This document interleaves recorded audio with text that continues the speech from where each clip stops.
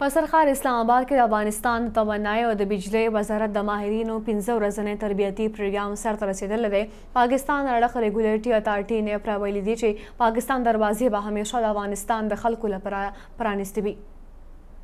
په اسلام اباد کې د افغانستان نه راغلي د افغانستان د توانایي او بجلۍ د وزارت ماهرینو ته د پنځه ورځني تربیتي پروګرام په اخیر کې د یوې دستورې تابیا وشوه چې پکې میلمنو ماهرینو ته شیلډونه ورکړه شول. په دې موقع ممبر نېپرا رحمت الله بلوچ مشر مېلمه و. هغوي وويل چې پاکستان د افغانانو دويم کور دی او د هرې شعبې دروازې به د افغانستان د خلقو د تربيت لپاره همېشه پرانيستې وي. د دې پنځه ورځني تربيت انتظام د سارک سېنټر له اړخه شوی و چې په کې مېلمنو ماهرينو ته د نېپرا د لايسنسنګ، مانيټرنګ او د صارفينو د تحفظ په اړه معلومات ورکړه شول. ممبرنیپ راوویل چې د دې تربیت سره به افغانستان کې د پاور ریګولیټري اتارټي جوړولو کار اسان شي. بلرغ ته راغلو مېلمنو په ښه مېلمستیا او تربیت د پاکستان د حکومت او د خلقو شکریه ادا کړه.